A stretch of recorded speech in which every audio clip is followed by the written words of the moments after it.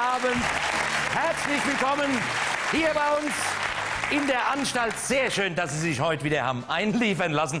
Es ist, wir haben aber auch wieder einiges zu behandeln, oder? Von der letzten Zeit, was alles. Es ist ja und die drehen jetzt alle am Rad, oder? Ich habe nur mal versucht, die, die Meldungen von den Nachrichten heute tagsüber ein bisschen zu scannen. Das ist unklar. Also gut, der Koalitionsstreit ist beigelegt, aber nur wenn die ab 2013 garantierten Krippenplätze vorab an den amerikanischen Höllenhund Cerberus verkauft werden, der dann meistbietend Vorschulkinder an die Daimler AG vermietet, welche sich verpflichten müssen, ohne Mindestlohn das Milliardendesaster der Kreisler-Hochzeit auszubaden, damit der Aufschwung in Deutschland nachhaltig nicht gefährdet wird. Oder, oder so. Na, es ist ehrlich, du kannst... Es ist unglaublich.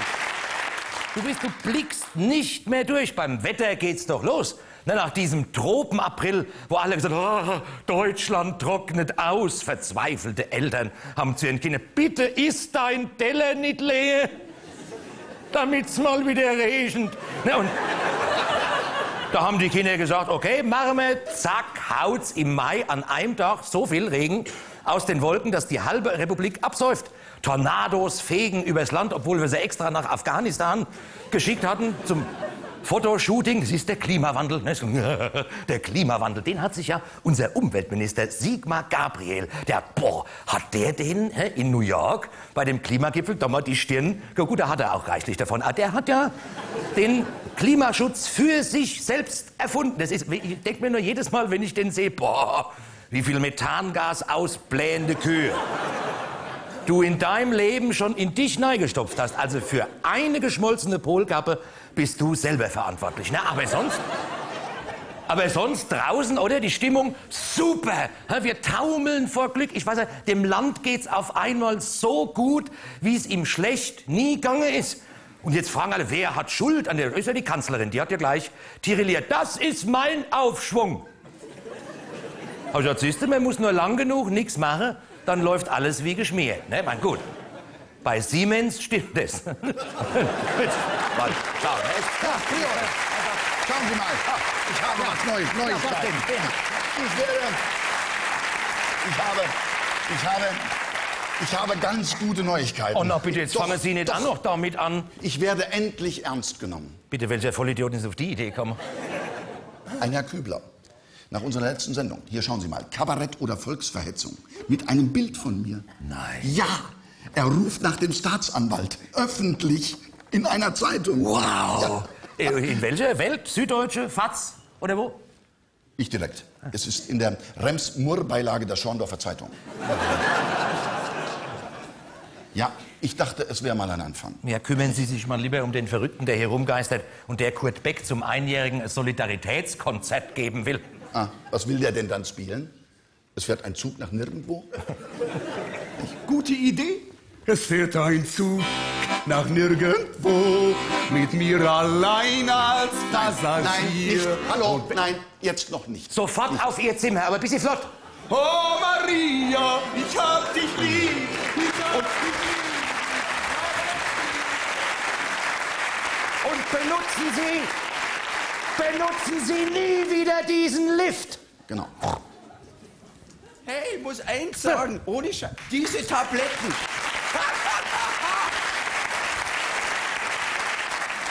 Das ist das beste Zeug, was ich je gegessen habe. Das ist der Hammer. Darf ich jetzt über Edmund Stoiber sprechen? Nein, dürfen Sie nicht. Okay. Sag mal, hat's hier überhaupt keine Normale mehr in der Anstalt? Das ist doch alles nicht mehr normal. Das ist doch, hat's doch hier nur noch Verrückte. Sagen Sie mal, ähm, darf ich mal fragen, ob diese Dreckszeitschriften irgendwann mal ausgewechselt werden? In Ja, ja, ich weiß schon, der eine Verspeckte von der Drückerkolonne müsste eigentlich jeden Moment kommen. Sie, Das Hier ist, lebt der bringt die Lady neuen Di Mappen. noch in dieser Ausgabe. Ja, ja, der der bringt die neuen Mappen mit, da ist ihre Tunnelfahrt dann schon dabei. Aber sehen Sie mal, das ist interessant. Hier, CDU fordert neue Leitkultur. Da ist Lady Di noch auf ihrem Rittmeister zugange gewesen. Ist doch lächerlich. Das ist aber eine harte Überleitung. Ja, muss auch mal sein, nicht? Aber es ist doch unglaublich, unverdrossen immer wieder von Neuem kommen Sie mit CDU fordert Leitkultur. Ja, ja, Fassenacht hat's auch jedes Jahr. Ja, aber ich bitte Sie, aber CDU und Leitkultur, da muss man doch ernsthaft kommen. Jetzt regen Sie sich doch nicht so auf, ist doch schön, was Herr Pofalla gesagt hat. Pofalla, Pofalla, Pofalla. Damit mit der Leitkultur will er das Wertefundament erneuern. Er will Anstand und Moral und Ethik in Ja. die Republik Ja. bringen. Und, wer, und von wem verkörpert? Von Körpert, von dem Beratergesindel, das um unsere Lichtgestalt von Kanzlerin herum wanzt. nicht Moment. Moment, für Was? das Abwatschen von unserer Worthülsenfrucht aus der Uckermark bin immer noch ich zuständig. Das ist mein Revier. Herr König, nun bitte. Also, Irgendwas ist mit Ihrem Verhältnis zu Frau Merkel. Das fällt mir auf. Aber jetzt nochmal zurück zu, zu Moral und Anstand, nicht wahr? Da sollte am besten Frau Merkel ihren Chefberater die Präambel schreiben lassen. Heinrich von Bierer. ja, na ja, solange er nicht verhaftet ist, geht's ja vielleicht noch. Und, und, und, einer, und, den größten Versager, den die deutsche Wirtschaft je gesehen hat, Jürgen Schremp. Was ist der geworden? Reich. Nein, Ob, doch, obwohl der Daimler Chrysler fast ruiniert hat, kriegt eine schöne Rente. ich meine, er ist jetzt Berater für die Kanzlerin geworden beim G8-Gipfel für Afrika. ja gut, wenn Mercedes schafft, schafft es er. Und wissen Sie, und wissen Sie, was Ihre neueste Errungenschaft ist? Endlich mal ein Blazer, der ihr passt. Nein. Ihre, das hat doch keinen Sinn mit Ihnen. Bleiben Sie doch mal ernsthaft. Ihre neueste Errungenschaft ist Lars Göran Josefsson. Das Smörebröt. Herr Priol, dieser Mann ist Chefberater unserer Bundesregierung für den Klimaschutz. Aha. Und was hat der verbrochen? Der, das ist der Chef von Vattenfall, Europas drittgrößten Klimasünder. Und der hat die Kanzlerin schriftlich gewarnt. Ja, ja, vor der Erderwärmung, ist klar, machen ja alle. Machen Nein, er alle hat sie machen. nicht vor der Erderwärmung gewarnt. Er hat sie gewarnt vor einer Diskriminierung der Braunkohle. Da fehlt jetzt in Ihrem Beraterstab eigentlich nur noch der Chef der Historikerkommission. Günter Oettinger würde ich vorschlagen. Vielleicht wär, ne, da wäre die komplett. Man kann mit ihm nicht ernsthaft reden. Das hat doch keinen Sinn. Man muss doch ernsthaft reden können. Man muss den da mal. Der, der regt sich da immer so auf. Wir haben es vorhin über das Grundsatz. das- Ich finde es doch schön. Das ist also der Entwurf für das Grundsatzprogramm der CDU, weil Herr Pofalla ja gesagt hat, damit entsteht eine ganz neue Dimension der Freiheit. Das hat Wolfgang Schäuble gleich mal wörtlich genommen. Der, der kann, nimmt sich alles raus jetzt. Ne? Unser oberster Hüter von Recht und Gesetz, ne, der mal 100.000 Mark von so einem dubiosen Waffenschieber monatelang im doppelten Boden von seinem Rollstuhl versteckt hat. Jetzt wenn der irgendwo einen Farbbeutel fliegen sieht, sagt, "Ah, die Terroristen kommen. Gut, dann nimm mir der Resteposten von der RAF. Das ist vorbei, nachdem ja unser Bundespräsidenten Kracher Klartext geredet hat nach seinem Treffen mit Christian Klar. hm? Das war, ich, hab, ich bin ja immer so neugierig, so ins Private. Wie, wie ist das, wie haben die das gemacht? Ist der irgendwo in einem Café im Schwarzwald? Und sagen, guten Tag, Herr Klar. Köhler mein Name. Ich weiß nicht, ob Sie mich kennen, weil zu Ihrer aktiven Zeit sind wir uns ja nie begegnet. Jetzt wegen Ihrem Gnadengesuch. Äh, Können Sie mir vielleicht verraten, wie weit Sie reuemäßig schon vorangekommen sind?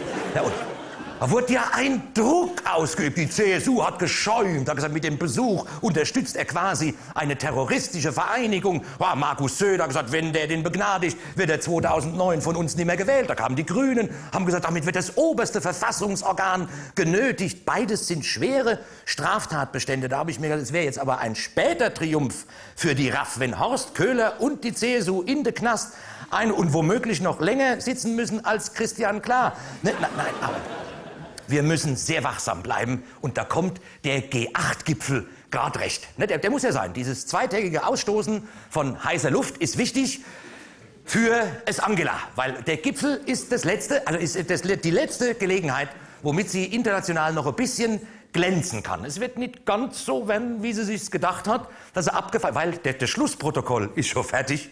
Ne, und da, was Sie drin haben wollt, von wegen gemeinsame Erklärung für den Klimaschutz, oh, da haben die Amis ihre, ihre transatlantischen Gesinnungsmatratze aber gleich mal Bescheid gestoßen. Na, und haben gesagt, forget it, baby. Ja, es ist, es bröckelte bis sie im europäischen und internationalen Gebälk. Na, es kommt, noch wird sie ja hochgejubelt. Ja, in den Top 100, die wichtigste und mächtigste Frau der Welt. Ist doch klar, wenn du nur noch von Auslaufmodellen umgeben bist. Na, da ist es, Chirac hat ja sein finales Handabschlecken schon hinter sich gebaut. Ah, adieu, Madame la Chancelière. Vous êtes une Casserole magnifique. Na, alle hauen ab. Na, alle gehen sie. Adieu, Tony T- Tony Blair hat gesagt, ich hau auch ab. Putin geht, Bush ist schon weg, das sagt ihm nur keiner. Und, und den Italiener Prodi nimmt ja niemand mehr ernst. Ne? Da kommt der, stürmt er immer nachmittags ins Parlament. Hab ich ja keine Lust mehr, schmeiß ich die Brocke hin, bin ich ja weg. Am nächsten Morgen geht die Tür auf, bin ich ja wieder da. Na, wenn du von solchen... Hör mal. Wenn du von solchen Nasen umzingelt bist, da lässt sich's leicht glänzen. Na, aber ihre Kampfpresse schreibt es Angela, na von auf dem internationalen Parkett macht sie eine immer bessere Figur. Ich weiß nicht, wenn ich diese vier Knöpfe auf mich zuwatscheln sehe. Na, da könnte ich schon wieder, aber sie kriegt jetzt Konkurrenz. Doch, es ist jetzt Frankreich ist losgegangen. Ne, mit Herrn Sarkozy, da, der, der Bonsai Berlusconi. Den möge ich sie ja nie, aber sie haben ihn gewählt, weil der Franzose braucht es. Eine Obrigkeit, die er nicht mag. Das ist die Geschichte. Ist da Revolution, Sturm auf die Bastille. Da sagt, mosch, mosch, mosch, was hat die Regierung da wieder vor? Da müssen wir sie in die Schranken weisen. Alle hopp. Was sagt der Deutsche? Na, komm. Nicht. Sind wir froh, dass wir überhaupt noch mal eine Regierung haben. Und setzt.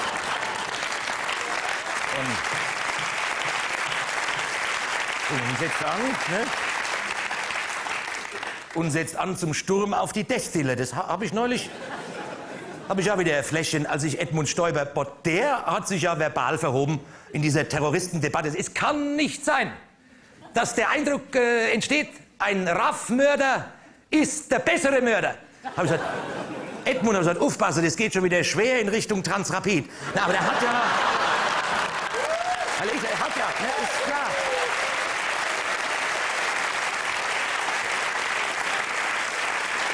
Ne, der hat, hat er ja. Hat er, normalerweise, die schreiben ihm ja mittlerweile alles, aber wenn der Journalisten sagt, geht's mit ihm wieder durch. Also, ich kann's auch ohne Skript. Und wir alle wissen, Edmund, das kannst du nicht.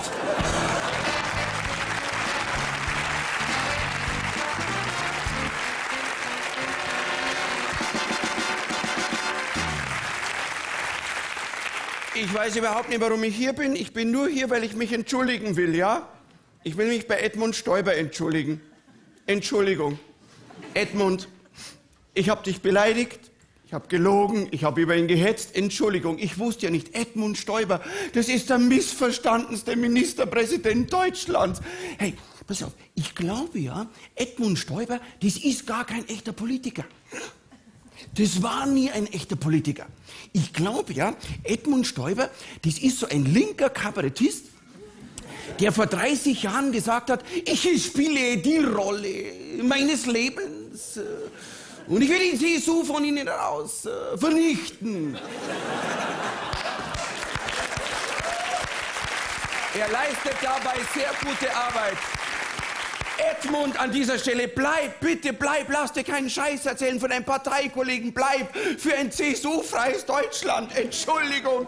Ja, ich will mich entschuldigen. Ich entschuldige mich bei den Rauchern heute Abend. Ich bin Nichtraucher. Entschuldigung, Raucher. Wisst ihr, wir gehen militante Nichtraucher sowas von auf den Sack.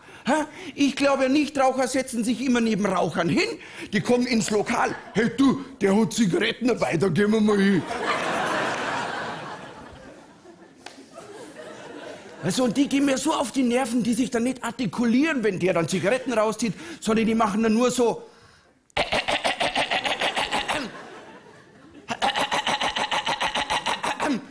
Das ist doch total blöd, oder?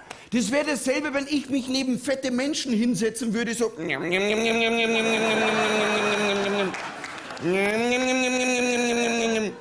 Oder ich setze mich neben ein Model und schaue intelligent.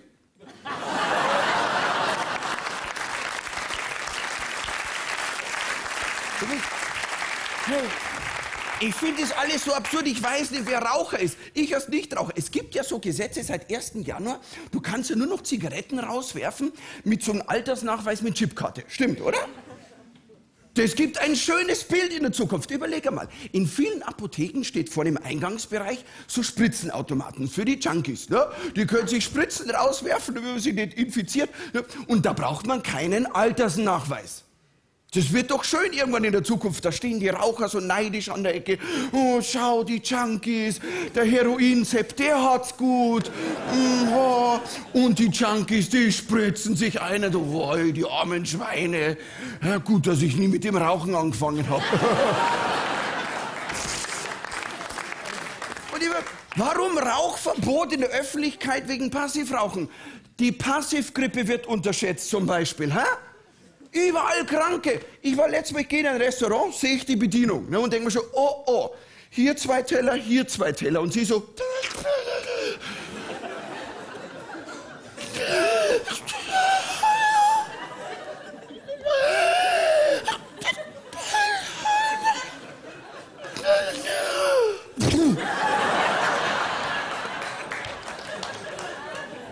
Aber nicht, dass jetzt die Teller hinstellt, den Schleim abschöpft, nein serviert es eiskalt mit den Worten, wir haben extra viel Soße dran gemacht.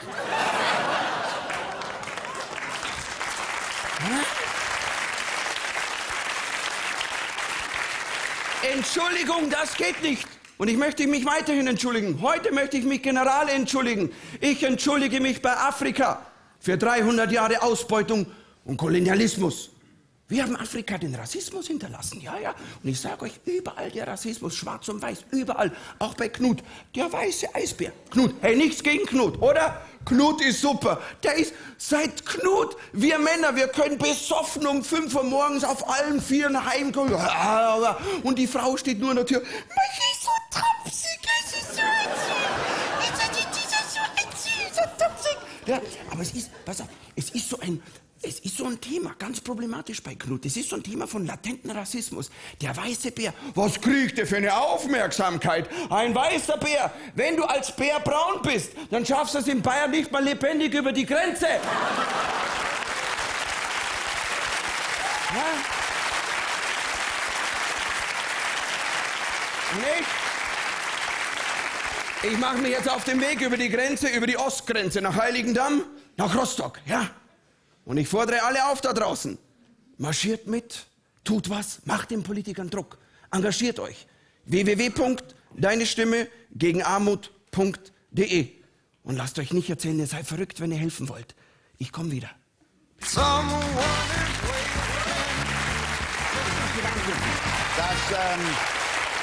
ich möchte, lassen Sie mich Lassen Sie mich da anknüpfen, meine Damen und Herren. Heiligendamm wird ein Mega-Event. Ich, ich, glaube, so nennt man das jetzt nicht. Mega-Event. Ähm, da können Sie von ausgehen. In London können Sie jetzt schon Wetten abschließen, ähm, ob Schäuble sein Sondergefängnis vollkriegt. Da kann man drauf wetten. Nicht? Die, die, die Heiligendamm wird einen nie dagewesenen Bekanntheitsgrad erreichen. Dieser 13-Kilometer-Zaun mitten durch die Stadt ist heute bereits eine Sehenswürdigkeit und es gibt Touristenbusse, um ihn anzusehen. Die Tourismusbehörde hat beantragt, dass er stehen bleibt hinterher und dass er stückweise verkauft wird. Nicht? Es könnte sein, meine Damen und Herren, dass Heiligendamm vielleicht mal ein Meilenstein wird. In den Geschichtsbüchern steht vielleicht mal drin, G8 2007, Heiligendamm, da hat alles angefangen. Nicht? Da wurde nicht dem Hunger der Krieg erklärt oder dem Klimawandel, da wurde erstmals vorexerziert, was Krieg im eigenen Land bedeuten kann, wenn die Schäubles und Becksteins bestimmen dürfen, wer von unseren Kindern und Enkeln verdächtig ist. Verdächtig ist äh, Straftaten möglicherweise zu planen nach Paragraph 129. Wobei Sie jetzt nicht denken müssen, dass hier irgendwie ein paar militante Linke unser Staat bedrohen. Überhaupt nicht. Nach die paar sind als Pappkameraden für das Manöver notwendig. Verstehen Sie? Und die wissen gar nicht, vor welchen Karren sie da gespannt werden. Ich glaube, das ist mehr so wie bei Deutschland sucht den Superstar. Da werden ja auch nicht wirklich Sänger gesucht. Aber wenn ein paar drunter sind, die sich dahin verirren, dann wirkt es realistischer. So ähnlich vielleicht. Nicht? Das, was da letzte Woche gelaufen ist, das ist vielleicht nur, da hat die Staatsmaschine einfach geübt. Einer wie der Schäuble, der denkt ja über den Tag hinaus. Vielleicht hat er erkannt, dass der soziale Frieden in Deutschland gar kein Frieden war, sondern nur ein Waffenstillstand. Und Waffenstillstand, der hält nur so lange, bis eine der beiden Parteien stark genug ist, um zu gewinnen. Und vielleicht sind wir an diesem Punkt. Und der vorsorgliche Sozialstaat möchte uns zeigen, was er mit Verlierern machen kann. Fällt Ihnen nicht auf im Fernsehen, dass diese Streikenden bei den Fernsehaufzeichnungen immer wie Verlierer aufsehen? Nicht? Die reden auch so, wie Verlierer. Irgendwie uncool nennt man das, glaube ich, heutzutage. Nicht? Auch streikende Studenten wirken auch irgendwie uncool. Wussten Sie, dass das BAföG seit 99 nicht mehr erhöht worden ist? Also real um über 10 Prozent gesunken ist? Übrigens interessanterweise das Gleiche wie beim Soldatensold. Gut, die kriegen dann eine extra Zulage für den Einsatz an der Heimatfront, wenn sie den Studenten begegnen, nicht wahr? Aber wussten Sie, wussten Sie beispielsweise, dass die Löhne von den Fensterputzern, die im Reichstag dafür sorgen, dass die Abgeordneten nach draußen zum Volk gucken können, dass die sittenwidrig sind? Und dass Tausende von Polen dieses Jahr nicht mehr zum Spargelstechen gekommen sind, weil die Löhne selbst denen zu niedrig sind? Und die alle, die haben doch dem Aufschwung auf die Beine geholfen, nicht? Und wenn die jetzt ihren Anteil fordern, woher da ist der Aufschwung, da sagt man ihnen, das dürfen sie nicht kriegen, weil sonst geht der Aufschwung kaputt. Nicht irgendwann könnten die doch auf die Idee kommen, zu sagen, hat man das früher nicht Ausbeutung genannt? Ist doch logisch irgendwie, nicht? Aber es wirkt nur logisch. Ich habe mir das nur so zurechtgelegt. Verstehen Sie? Ich wollte einfach nur rauskriegen, wie der Schäuble das gemacht hat, den drohenden Untergang des Abendlandes so sich zurechtzulegen. Nicht? Wer sowas ernsthaft denkt, nicht, der kommt zu uns in die Anstalt, ins Gefängnis oder ins Innenministerium. Nicht? Sie so aufpassen? Warum? Können Sie da? Das ist ja, hier, das, das habe ich, das habe ich im, das, das habe ich im Fahrstuhl, das habe ich im, wir müssen aufpassen, das habe ich im Fahrstuhl gefunden. In meinem Aufzug, eine. Unterschriftenliste. Ja, ist- ich weiß, es ist eine Unterschriftenliste. Ich kenne den Mann, der ist harmlos. Der ist seit über einem Jahr bei uns. SPD-Basis, den können Sie vergessen, der will nur spielen. Nein, nein, das, das kann ich nicht durchgehen lassen. Das ist ni- nicht in diesem, in meinem Haus, nicht in meinem Lift. Hier, Dich krieg ich, Jetzt Freund. beruhigen Sie sich doch. Beruhigen Sie sich. Entschuldigung, Ach, Sie. Ja. Herr Dombrowski, Ja. haben Sie einen Augenblick Zeit für mich? Ja, worum geht's? Ich bin Künstler. Ich ähm, werde hier in diesem Haus heute bei Ihnen ein Solidaritätskonzert für den bekannten Arbeiterführer Kurt Beck zum Besten geben und ich würde Ihnen gern ein paar Texte zur Kritik vorlegen. Mir. Bitte. Ja, interessant. Schießen wir los. Hey, oben, hört mir jetzt mal zu. Ich habe Angst um meinen Arbeitsplatz, das lässt mir keine Ruhe. Ja, das ist äh, politisch soweit korrekt. Ähm, aber ähm, ähm, haben Sie auch die gesellschaftlichen Alternativen irgendwo aufgezeigt? Es geht noch weiter. Da ihr da oben. Es kommt das Morgenrot, wir stürmen die Paläste und schlagen alle tot. Das ist gut. Das, das gefällt Ihnen? das, Ich hab's ja, gewusst. Ja, das ist natürlich. Ja, ja, das ist eine Pointe, totschlagen. Ja, Respekt. Ja, ähm, aber wir sollten da vielleicht ein bisschen differenzieren, guter Mann. Ähm, mit wem wollen Sie die Paläste denn stürmen? Nicht mit Kurt Beck oder Frau Nahles oder Claudia Roth? Nicht? Die sind doch Teil des Problems und nicht Teil der Lösung. Sag mal, was willst du? Wissen Sie, was ich meine? Ja, da könnten Sie recht Sag mal, dreht ihr jetzt völlig ab da oder irgendwas? Es wird ja immer toller, was wir totschlagen. Wenn ich noch einmal sowas von euch höre, mache ich euch den Schäuble und schließe euch weg. Hören Sie, das, ich wittere Zensur, Herr Priol. Sie wittern doch immer irgendwas. Mir ist absolute künstlerische Freiheit zugesagt. Ich habe eine Mir Presse- ist völlig egal, Natürlich. was Ihnen hier zugesichert wird. Ich will jetzt sehen, was wir für Pam. Pamphlet davor haben, den Leuten davor zu geben. Sie mal her, was ist das, worum geht's da drin? Das ist ein Insassenkonzert. Ja, aha. Das ist sehr schön. Arbeitsplatz, Gerechtigkeit, Soziales, naja, das können wir drin lassen, den Rest schmeißen wir raus und dann verdichten Sie das schön in so ein paar richtig Form, so gewerkschaftliche Behelfsschüttelreime, ne, so ein bisschen büttenredenmäßig, dann wird es schon. Ich Ihnen mal wieder, das, hä, wo man ein bisschen Stimmung dann hat? Wer macht im Reichstag richtig Druck? Münde, Schmidt und Peter Struck. Siehste, so wird es gemacht. Wählt Wählt der deutsche SPD, spürt es gleich im Portemonnaie. Volker stürmt die Regale auf zum letzten Geschäft. Die, der deutsche Einzelhandel erkämpft das Menschenrecht. Ja, na, also, es ist, reicht doch, geht doch. Und etwas zum Klimawandel? Ja, von mir aus. Der Nordpol schmilzt, der Eisberg kracht. Das macht uns nichts. Sie ist Fasenacht. Da, da, das kommt immer. Das kommt immer. Ist doch. Jetzt Sie doch mal auf. Jetzt hören Sie doch mal auf. Jetzt lassen Sie das doch mal. Ja, aber du musst doch damit auch mal ein bisschen, aber immer diese nörgelnden Querulanten, gerade jetzt, wo doch draußen, es geht uns doch so super, oder? Wir sind wieder ganz vorne, wir sind Nummer eins in Europa, wir haben wieder Gewicht. Also, also, also was das Gewicht äh, angeht, ne? wir sind die dicksten in Europa, wir sind so fett. Das hast du bei der, bei der Wahl in Frankreich, hast du das sehen, die Gegensätze. Ne? Dort die beiden führen Ségolène Royal. Nebendran der drahtige Sarkozy. Was haben wir entgegenzusetzen? Es Angela und Kurt Beck. Na, aber es ist schon...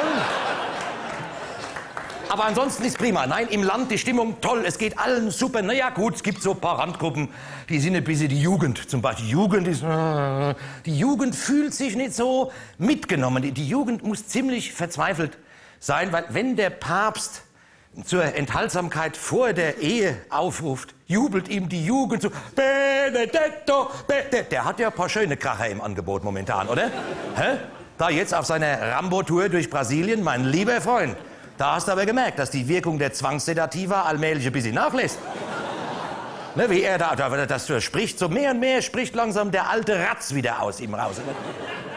Ich sag, na gut, ich sag, wenn fremde Stimmen aus einem sprechen, das ist, da hat die katholische Kirche ja eigentlich...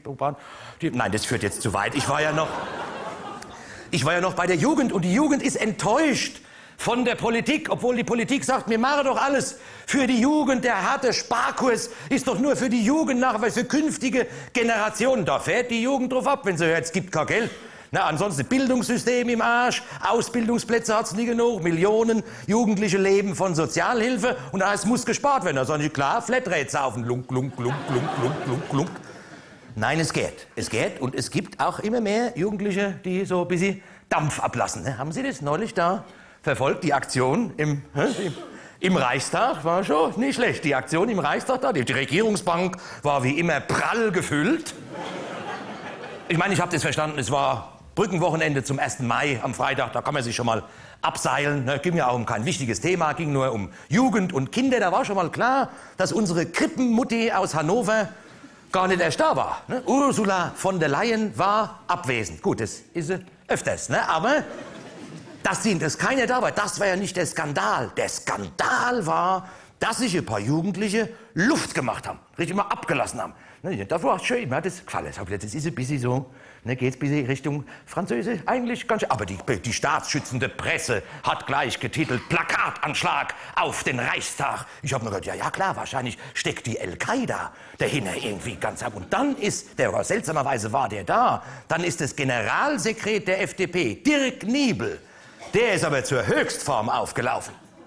Es war ein Angriff auf das Parlament und ein unhaltbarer Zustand. So etwas hat es, glaube ich, seit der Weimarer Republik nicht mehr gegeben. Und wenn die auf unserer Seite runtergekommen wären, ich hätte mir die schon gepackt. Ja, ne?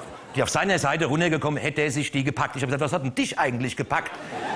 Nebel, du musst uns jetzt hier nicht zeigen, dass du von Geschichte noch mehr nicht Ahnung hast als der Oettinger. Na, es ist wenn. Man muss schon mal ein, wenn es. Wenn man mit von einer Brüstung herabrieselnden Flugblättern irgendwas in Verbindung bringt, dann ist es die, die Weiße Rose. Die Weimarer Republik, du Depp, haben nicht ein paar Demonstranten im Reichstag zu Fall gebracht, sondern die von dir umwanzten Wirtschaftskapitäne, die sich im Renditerausch unserem Führer an den Hals geschmissen haben. Aber gut, ich sag, es ist noch nicht alles verloren. Ne, Es ist, man, muss eins, man muss ihm zuwiderhalten. Es ist, man muss man muss ihm zugutehalten, Dirk Niebel war bei der Bundeswehr wahrscheinlich ein Tick zu lang. ne, er ist Fallschirmspringer und in der FDP. Noch ist mir alles verloren.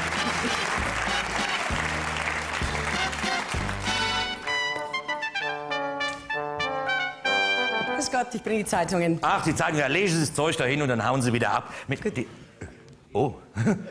Ich, ich, ich, ich, ich, ich habe gedacht, jetzt kommt der, der Dings, der immer kommt der Dings. Ich hab nie, kommen, kommen Sie jetzt öfter? Sie, wissen ja, wie das ist. Ne? Sie lesen ein paar von den Zeitungen da, Ja, ich. da bei, in der, beim Eckstück, beim Kakao und den Rest äh, verteilen Sie dann im, im Haus, in dem Ganzen. Ist ja Gern. schwer, die Tasche. Sie müssen da nicht die Treppe, Sie dürfen gerne meinen Aufzug benutzen. So, wenn, vielleicht noch, sonst, wenn ich noch irgendwas, mal einen Tee vielleicht, so Prosecco.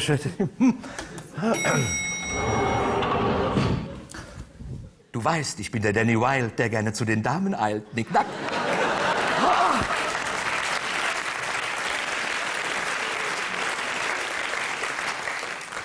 Es ist nicht gut, wenn Männer zu lange unter sich sind. Aber sonst ist ja ganz nett, äh, der Bonsai-Doktor. Gut, modisch, modisch müssen wir noch mal drüber reden. Aber Sie brauchen keine Angst haben, ich verteile hier keine Tabletten in der Anstalt. Nein, ich bin auch nicht zuständig für die Sterbehilfe, wenn es auch für Sie so ausschauen mag. Nein, ich bringe den Lesezirkel hier in die Anstalt. Ich verteile quasi die Promis druckfrisch da, wo sie hingehören. Und das kann man natürlich nur als Frau machen. Ja, weil als Frau ist man ja kommunikativer, offener und man nimmt mehr Anteil am Leben der Mitmenschen. Und dabei hilft einem das hier. Klatsch und Tratsch. Äh, Klatsch hat ja nichts Denunzierendes. Klatsch hat was Philanthropisches.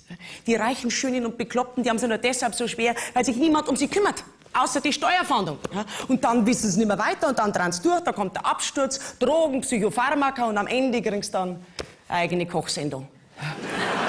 Die,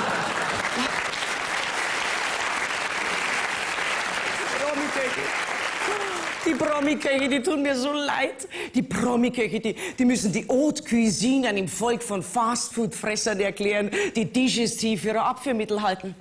Aber, aber nicht jeder heißt halt Jopi Hesters und hat eine Simone Redl daheim, die eine mit 184 noch an ein Klavier lehnt und einem das Gefühl gibt, man wäre heute noch aus eigener Kraft ins Maxims gegangen. Uh, ja, oder oder nehmen jetzt Florian Silbereisen. Kennen Sie alle Florian Silbereisen oder Florian Silbereisen? Ich sage immer, Deutschlands Rache an Österreich für Karl Moik.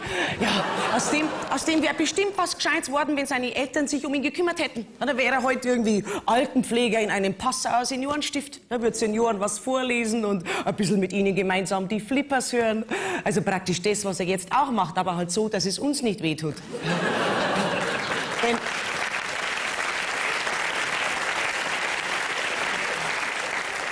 Wenn, wenn die Promis jemanden hätten, der Anteil nimmt an ihrem Schicksal, dann wäre vieles anders. Boris Becker wäre mit einer blonden Schwedin verheiratet. Äh, Oliver Kahn hätte längst eine Frau mit Hirn und keinen Disco-Wanderpokal. Äh, Josef Ackermann hätte längst sein privates Vermögen gespendet und somit wären alle dritte Weltländer schuldenfrei. Äh, Herbert Grönemeyer wäre Logopäde. Xavier Naidoo wäre Motivationstrainer bei Siemens. Dieser Weg wird kein leichter sein. Ja, aber gut, na, ich habe leicht reden, ich komme vom Land. Und im, beim Land, da ist es auf dem Land, ist alles anders. Da kümmern wir uns noch um unsere Mitmenschen. Ich will, dass es den Menschen nebenan gut geht. Also nicht unbedingt besser als mir, aber halt gut. Unsere Frau Knickertsberger zum Beispiel, die war 48 Jahre lang Filialleiterin von der Raiffeisenbank. Wenn du bei der 2000 Mark von deinem Konto abheben wolltest, weil du dir mit 18 ein neues Auto kaufen wolltest, dann hat sie was gesagt? Dann hat sie was? 2000 Mark. Jetzt gebe ich dir mal 20 Mark, gell? Das reicht für einen Zündschlüssel wegen dem Rest schauen wir morgen nochmal. Sie, das nenne ich Anteilnahme. Die hätte unseren Promis gut getan. Jawohl, die hätte zum Beispiel am, am, am, am Dieter Bohlen hätte die Kreditkarte gesperrt sofort und wenn er gefragt hätte, warum nicht, sie sagt, ja, Sie, Herr Bohlen, denn was brauchen wir denn auch immer so viel Geld? Ha? Jede Woche ein neues Kettel oder neue Ohrringel fürs Fliescherl.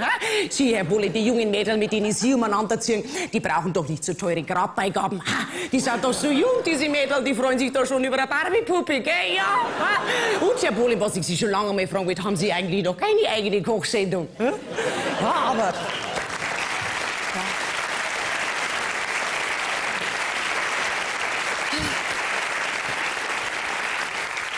Aber wie hat der alte Goethe einmal gesagt, oder war es Franz Beckenbauer, das weiß ich jetzt nicht mehr so genau. Denken ist zwar allen Menschen erlaubt, aber es bleibt vielen erspart.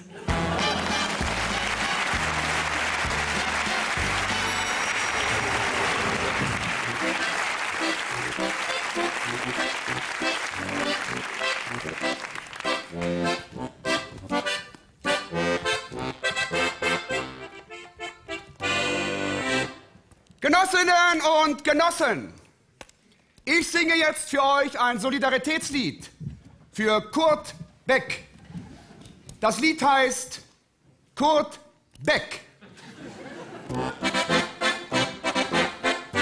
Er ist der Backstage-Boy für die Backstreet Girls. Jeder Auftritt ein Comeback. Kaum ist er da, ist er schon wieder weg. Der Kurt Beck.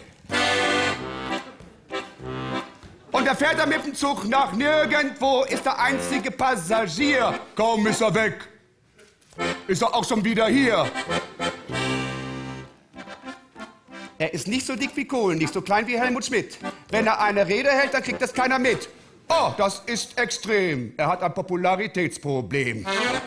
Er ist der Chef der SPD, doch es kennt ihn keine Sau. Liegt das an den Backentaschen oder an der Frau?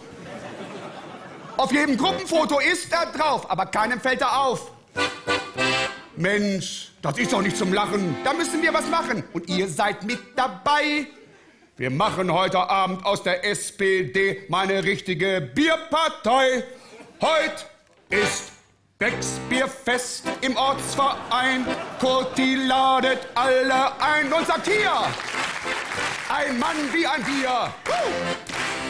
Er sieht aus wie ein Fass, hat er, wir in der Tasche, trinkt das Bier aus dem Glas oder auch mal auf der Flasche, so wie wir. Das ist der Kurt, ein Mann wie ein Bier. Wenn die Umfragewerte in den Boden sinken, muss der Kurti einfach mal ein Wechsbier trinken. Wir, ein Mann wie ein Bier. Auch die arbeitslosen Obdachlosen werden integriert, Haare waschen, füllen, legen und rasiert von dir. Auf der Basis von Hartz IV. Und an dieser Stelle schlage ich mal was Heißes vor. Jetzt singen wir gemeinsam einen Background-Chor im ZDF und ich bin der Chef. Ich sage, hier kommt Kurt, ein Mann wie ein Bier. Und das sagt ihr, kommt Kurt, ein Mann wie ein Bier. Das üben wir jetzt mal. Da gehen wir auf Sendung. Und morgen steht das, schreibt der Heribert Brandl, neues Image für Kurt Beck. Okay, ich zähle ein. Hier kommt Kurt, ein Mann wie ein Bier. Zwei, drei. Und hier kommt Kurt, ein Mann wie ein Bier. Das war schwach. Gut, es muss auch nicht sein. Wir wollen keine Triumphe feiern. Es gibt auch eine andere Alternative, um das Problem zu lösen. Kurt ist zu kurz. Und Beck klingt sehr schnell. Stecken wir ihn einfach in ein Eisbärfell, dann heißt er Knut und dann ist alles wieder gut. Thank you.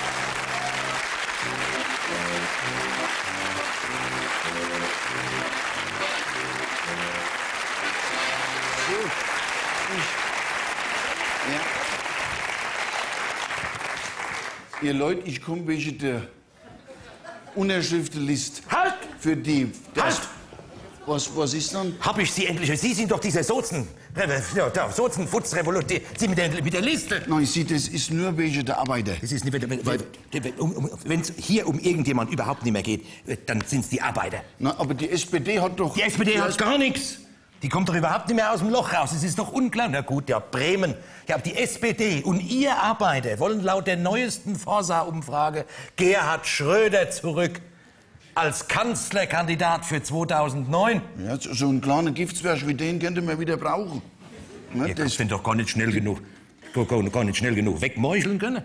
Ne? Der, der, Dings jetzt, der hat euch doch erst dahin gebracht, wo ihr seid. na, das, das war ja nur wegen. wegen muss ja nur wegen, das ja nur wegen, das ja nur wegen. Ich hab das bis heute, möchte heute wissen, was da dahinter steht. Diese vorgezogenen Neuwahlen vor zwei Jahren, der hätte sich doch alles ans Revier heften können. Die Fußball-WM so 2006 für den Aufschwung, die gefühlte Vollbeschäftigung. Ja, nein, das wäre auch ein bisschen zu viel gewesen.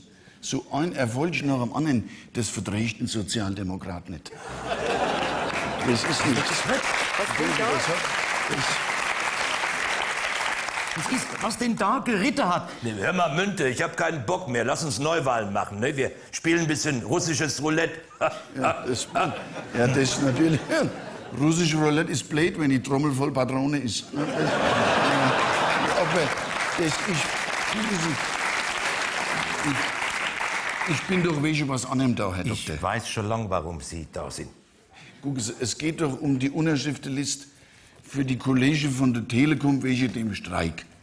Ah ja, da unterschreibe ich mal gar nichts, weil solange ich die Telekom kenne als Kunde, sind die immer schon im Streik. Ich warte seit zwei Monaten warte ich auf den Techniker für My Wireless LAN. Ja, meinen Sie, das. Man, das, ja,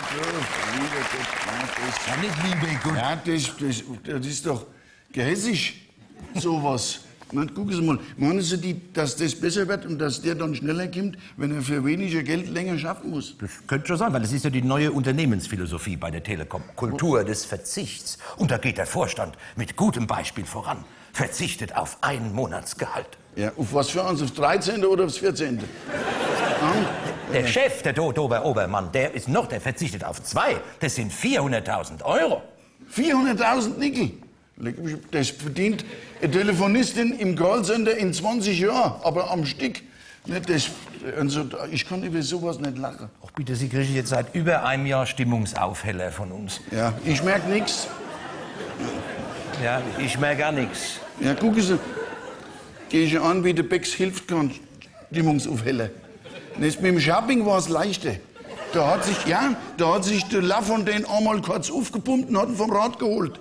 Wir brauchen so einen kleinen Giftsflash, müssten wir wieder haben. Das sage ich Sie Ihnen. mit, jetzt kommen Sie mir doch nicht mit dem Lafontaine. Ja, das ist gut, das ist blöd, der ist jetzt auf der anderen Seite. Ihr Lafontaine hat Angela Merkel doch erst möglich gemacht. Dem haben wir es doch zu verdanken, dass ich die vier Knöpfe immer auf mich zukommen sehe, wo ich schon wieder raus Ja, Das sind nein, doch- ist nein, doch- nein, Was haben die gemacht? Da wäre die doch keine Hätte doch- gehabt. Ihr gebraucht. Ist doch Das hat doch wahr. Sinn. Dieses verklärte Ding da. da? Jetzt sag ich Ihnen mal was. So, noch einmal. Der Lafontaine, der 16. Kapitalist, der Drecksequenzens als noch einmal, was, was er von ihnen hält. Ja, da zittert die Deutsche Bank, aber huh. Ja, ändern tut's nix. Aber man hat wenigstens das Gefühl, er hat's versucht. Mehr willst du doch gar nicht als Sozialdemokrat. Das hatte Dings, das Ja, hatte, das haben wir, das, äh, das, das hat der Dicke schon immer gewusst. Die Hunde bellen, aber die Karawane zieht weiter. Ja, ja, aber gebellt muss werden. Egal, ob da jetzt ein Karawan vorbeikommt oder nicht. Verstehst du? Kann Sinn. Das ist es, gebellt muss werden. Das hat so keinen Sinn. Ich muss mal gucken, ob ich was Wissen. Sie- wir wissen doch, dass die anderen am Da sind. ich noch was. Ich glaube, das könnte das, vielleicht... was- Nehmen Sie davon mal zwei Stück. Vielleicht hilft's. Ja, danke. Das ist doch, gebellt muss werden. Das ist entscheidend. Gucken Sie, wir wissen doch, dass die anderen am Drücker sind. Ne? Aber das entscheidend ist, dass die SPD die kleinen Leute und Arbeiter nicht verbläht verkaufen darf. Wir haben doch jetzt bei der, oh, Zeug, bei der Gesundheitsreform, da haben unsere eigenen Experten, die haben sich krank schreiben lassen, damit sie bei der Abstimmung nicht die Hand heben dürfen müssen. Nicht? Bei ihrem eigenen Gesetz. Und die Ulla Schmidt, wenn Sie da unterschreiben bei der Ulla Schmidt, die hat sich hingestellt und uns erzählt, es ist ein großer Erfolg für den kleinen Beitragszahler. Das kannst du doch nicht machen. Verstehst du, Erfolg, was dann? Nicht? Die Beiträge werden immer teurer und die Leistungen werden immer schlechter. Jetzt haben wir doch seit ein paar Wochen die Reform. Und, und, und was ist damit? Nicht? Das, geh heute mal zum Arzt. Nicht? Die, die billigen Tabletten sind ausverkauft. Wenn ich mit meinem AOK-Kärtchen zum Arzt gehe, sitze ich zwei Wochen im Wartezimmer, bis ich überhaupt mal sehe. Und richtig krank werden darfst du schon gar nicht. Verstehst du, weil sich Krankenhaus so einen Patienten nicht mehr leisten kann. So, wenn das der Erfolg ist, über den wir uns freuen sollen, da verliere ich lieber, dass ich mich in Ruhe ärgern kann. Das, die, warum hat dann die Ulla Schmidt nicht einfach gesagt, Genossen, wir haben es versucht, aber die Abkassierer im Gesundheitssystem sind stärker gewesen. Die Schwarze stecken mitten unter einer Deck und ein paar von den Genossen sind bei der Gesundheitsmafia auf der Gehaltsliste. Das hätte sie sagen müssen, verstehst du? Und dann, dann hätte sie ihr Handtasch gepackt und zurückgetreten. Dann könnte ich heute in aller Ruhe zu meinem Stammtisch gehen und müsste mich nicht genieren, wenn ich sage, ich bin ein Sozialdemokrat. So sieht's doch aus, wenn sie das gesagt hätte. Ja? Wenn sie die, so, ja? wenn die, so ist es so, verstehst du? Nein. Nein, wenn, wenn, wenn, sie, wenn sie das gemacht hätte, hätte die am Stammtisch bei mir gesagt, aus, hätte sie gesagt, Respekt, das hätte mir von euch nicht mehr erwartet. Das ist es doch. Verlier, wenn einer verlieren kann, dann mir. Wir können verlieren, aber mit Anstand muss man verlieren, verstehst du? Ich hab von der Schwarze erwarte ich doch nichts anderes, als dass ich beschissen werde. Aber doch nicht untereinander in der Partei. Nicht, wenn beim Niger im Kongo Wahlurne verschwindet, das lasse ich mir gefallen. Aber doch nicht in Hamburg bei der SPD im Ortsverein. Das kannst du doch nicht machen. Da, da, da muss Feierabend sein, verstehst du? Ich sage euch eins. In Berlin müssen wir es noch einmal richtig krachen lassen, Genosse. Und dann ist Feierabend. Mindestlohn. Erbschaftssteuer und dann ist fertig. Bei der nächsten Gelegenheit sind sie fällig. Dahin, das sage ich euch und fragt nicht wie. Dann ist Feierabend. Und wenn mir... Willen, um, Gott- Gottes? Willen, um, um Gottes Willen, Sie haben, Sie haben, Was ist Gottes dann? Willen, ich habe Ihnen die falsche Tablette gegeben. Das waren, das waren die, das, das, das waren die, das waren, das, ist? das waren, ich hab, ich hab, ich hab Ihnen die, die falsche, die falsche Tablette, das, das waren die für den Mittermeier. Sie, Sie müssen sofort abführen. Mich, mich führt heute gar keiner mehr ab, das sag ich dir mal. Die Tabletten sind einwandfrei. Wenn sie mir die früher gegeben hätte, da wäre der Beck jetzt schon wieder Weinkönigin in der Palz. Gibt's kann man die nicht auf Rezept Nein, die kann man nicht auf Rezept. Nein, die kann, nein, man nicht auf Rezept. Man kann sie, die gibt's überhaupt nicht. Es gibt jetzt überhaupt nichts mehr, gar nichts mehr. Warten Warum Sie, dann nicht? Gucken Sie mal auf die Uhr. Es ist Schluss. Elf. Ja, Feierabend. So, das war Neues aus der Anstalt. Meine Damen und Herren, immer live im ZDF heute mit unseren Isas Monika Gruber,